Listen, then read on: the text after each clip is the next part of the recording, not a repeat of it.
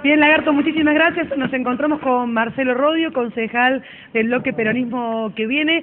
Se ha acercado aquí a nuestro móvil porque presentó ayer un proyecto para modificar la Carta Orgánica Municipal en referencia al voto joven. Bueno, Marcelo, un eh, tema muy polémico. Presentaste ayer un proyecto para hacer una modificación. Bueno, ante todo, muchísimas gracias por, por el móvil. Como siempre, es un placer poder estar acá. Eh, ayer en el Consejo Deliberante presentamos una modificación a la Carta Orgánica Municipal en el artículo 124, inciso 2. Bueno, nosotros decimos que debemos suprimir la última parte donde dice que los jóvenes, para poder votar entre 16 y 18 años, tienen que eh, em, bueno eh, anotarse con 45 días de anticipación para poder em, para poder sufragar. Bueno, nosotros consideramos que esto es excesivo, que es una traba y que no se necesita. Eh, y más ahora que, tenemos esta ley que va seguramente a aprobarse en la Nación, que está empezando a debatirse ahora en comisión y que van a poder los jóvenes de 16 años votar para presidente para diputados nacionales, para senadores, y en Córdoba va a ser muy complicado porque mm, eh, para votar internet y concejales vamos a tener que sí o sí eh, tener que inscribirnos con 45 días de anticipación en la Junta Electoral de la Ciudad de Córdoba. Bien, en la presentación de ayer, concejal, ¿hubo alguna oposición de alguno de los bloques, algún comentario, alguna este, idea nueva que le hayan aportado para la presentación del proyecto? Mire, este proyecto seguramente se va a empezar a debatir en la Comisión de Legislación eh, General la semana que viene en el Consejo Liberante, ya está presentado, ya va a tomar estado parlamentario el día jueves en la próxima sesión del Consejo Liberante. Eh, Digo, pero off the record, ¿algún comentario de los concejales opositores? Hemos tenido algunos comentarios, pero no ha sido en, postura de bloque, sino ha sido por, por concejales eh, eh, distintos. Concejal... que nosotros esto Sí, ahí lo escucho ahí. Ah, bueno, sí, concejal, buen día. ¿Cómo anda, Lagarto? Bien, bien, muy bien, el gusto de saludarlo. La idea sería entonces que el, el joven de 16 años vaya a votar con este, la misma obligación que es la que tiene este, el, mayor, digamos, sin necesidad de anotarse, que vaya directamente, que va a estar ya incluido en los padrones. Que figure en los padrones, pero que pueda ser opcional. Opcional, voluntario, voluntario. Claro, no con la obligatoriedad para el mayor de 18, sino que opcional, pero sin necesidad de hacer el trámite previo. Tal cual, que sea opcional. Hoy recordemos a la gente que los menores de 18 años pueden votar, pero deben inscribirse con 45 días de anterioridad dentro de la Junta eh, Electoral Municipal. Esto es un trámite engorroso. Recordemos que se han inscrito en la última elección municipal cerca de 400 315, sí. Así es, así es. fracaso, eso fue un fracaso. Y fueron a votar 160 más o menos. Tal cual. Concejal, eh, usted, recién, usted recién calificó ese trámite como muy complicado. ¿Y por qué le parece tan complicado que los chicos tengan que ir 45 días antes a anotarse en una lista? Si tienen el compromiso cívico y ciudadano de que quieren votar, ¿Cuál sería lo tan complicado de tener que ir a, digo, por qué es tan engorroso ese trámite? Por la falta de información, pura y exclusivamente. Si acá tuviéramos más información, eh, un trabajo previo, una capacitación correspondiente, obviamente que, los jóvenes irían a votar. Imagínese si a usted o a mí nos pasa lo mismo, nos, tienen, nos ponen eh, una traba y nos dicen que tenemos que 45 días antes empezar a hacer un trámite para poder votar. Para votar pasaría exactamente lo mismo con nosotros. La elección que hay eh, en una elección municipal es, entre el 75 y el 80%.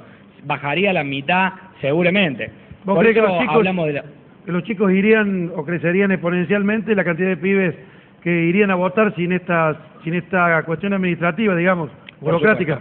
Hoy tenemos entre 60.000 y 70.000 eh, jóvenes en capacidad de votar eh, sería muy importante incluirlo en la vida social política, es muy importante. Después nos quejamos que no, que los jóvenes no se inmiscuyen, que no trabajan, que no participan en política. Es muy importante. Yo como joven y de nuestro espacio joven, yo tengo 31 años, lagarto, participé en todos estos eh, centros eh, de estudiantes que tuvimos en los colegios, creo que te despierta una vocación diferente y a veces estamos más capacitados que mucha gente grande que no vive el día a día de la política. Yo me junté con diferentes colegios estos días y hemos trabajado. Y cuando vamos a los colegios nos preguntan, sinceramente, ¿ustedes vienen a pedirnos el voto acá a nosotros, que nosotros votemos a ustedes, o realmente quieren saber si nos interesa votar o no? Los chicos están, están preparados. Hay algunos que no, obviamente, como todo, como hay gente grande que tampoco está preparada.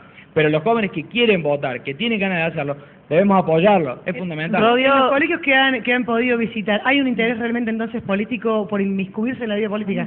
Por supuesto que sí. Ayer estuvimos en tres o cuatro colegios que vamos a tener asamblea la próxima semana con ellos y trabajar en, en, este, en este proyecto, que va a ver si realmente les sirve a los chicos, que los chicos participen, que puedan participar en la comisión del Consejo Deliberante y que podamos trabajar en conjunto para ver si esto le sirve a, a, los jóvenes o no. Esto, en definitiva, es esto. Concejal, eh, y ahora le hago la pregunta al revés. Hacer ese, digo, sumar esos 60.000 o 70.000 chicos que estarían en condiciones de votar, sumarlos a los padrones, ¿tarea de quién es? ¿Y es un trámite engorroso ese o sería simple? No, yo creo, yo calculo que eso sería un trámite a posteriori. Hoy necesitamos debatir el, el proyecto, pero seguramente no es no es engorroso y corresponde obviamente al municipio de Córdoba y a la Junta Electoral en su momento. Pero, pero yo creo que no, acá hay una vocación y por parte nuestra hay ganas de, trabajar con los jóvenes. Entonces yo creo que siempre hablamos de los jóvenes como el futuro. los jóvenes no son el futuro, son el presente, somos hoy. ¿Crees que, creo que tenemos que trabajar con ellos. ¿Crees que en esta iniciativa, Marcelo, te va a acompañar, por ejemplo, el bloque Evaluarte? Eh, no, no sé, no lo hemos hablado, pero ojalá que sí, este es un proyecto en conjunto para todos. Yo no, no, no estoy hablando por mí ni por el bloque del peronismo que viene, solo estamos hablando por los jóvenes que tienen ganas de, de inmiscuirse en la política y que es una buena forma elegir a sus representantes. Bueno, muchas gracias, Rodio, muy gentil. ¿eh? siempre, Lagarto, un gusto a todos ustedes. Al contrario, hasta luego. A mí me parece buena la iniciativa porque conozco del nacimiento de por qué se hizo en su momento esta pequeña trampita de incluir a los jóvenes.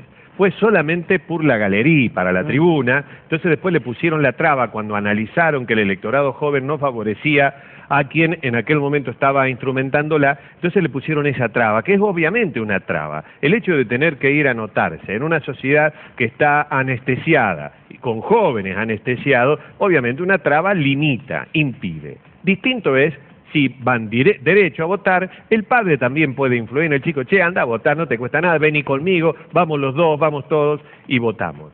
Me parece bueno, porque primero destraba la trampa para lo que fue creada esta iniciativa de los jóvenes de 16, que solamente fue para eh, congraciarse con la sociedad fue más una acción publicitaria que una acción de la vida democrática. Muchas trampas hay hechas por la política, otra de las trampas es la concertación pública-privada, otras son las reuniones de vecinos, como por ejemplo hace el ERCEP, que levantan la mano, votan los vecinos en contra de un aumento, pero eso no tiene validez. Esas son todas trampas de eh, la democracia. No que vinculantes. Que no son nada vinculantes y que después la voluntad de los vecinos no sirve. Esas famosas reuniones, los CPC, donde van, discuten los vecinos, levantan la mano, están en contra, después los, gobiernos hacen lo que quieren porque no son vinculantes. Esas son trampas de la democracia. Está bueno que se destrabe esto.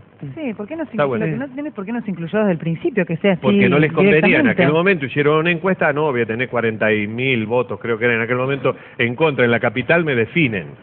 40.000 votos me definen, entonces no lo hacemos. O habla de, todas formas de entre 60.000 y 70.000 jóvenes. ojalá que la, que la, conclusión que saquen los funcionarios, los políticos que están yendo a los colegios, ha ido juez también, ha estado con distintos, creo que del Montserrat, estuvo con algunos chicos en un par de reuniones, ojalá digo que la conclusión sea transparente. Sea transparente, claro. Es decir, que la conclusión que saquen sean, digamos, eh, permiten inclinar la decisión si es factible o si no es factible, si es conveniente o no conveniente, que participen. Exactamente. Los chicos, en el caso personal, los chicos que yo he podido consultar, me parece que no están, demasiado inmiscuidos yo en tengo otra democráticas. ¿no? ya hemos discutido eso, casi nos agarramos de los pelos. No, pues, no. Vos tenés otra experiencia. Yo tengo otra experiencia, tengo otra visión. Yo creo que los chicos están, en la mayoría de los casos, informados. Por ahí están un poco anestesiados. A mí me parece que son... No, pero ¿por qué no participan? A mí me parece que son influenciables y especialmente muy influenciables, sobre todo en aquellas en aquellas familias, en aquellos casos en los que eh, los papás, lamentablemente, por la escasez de labor o por las carencias de este país, tienen que defender alguna subvención del Estado. Me parece a mí.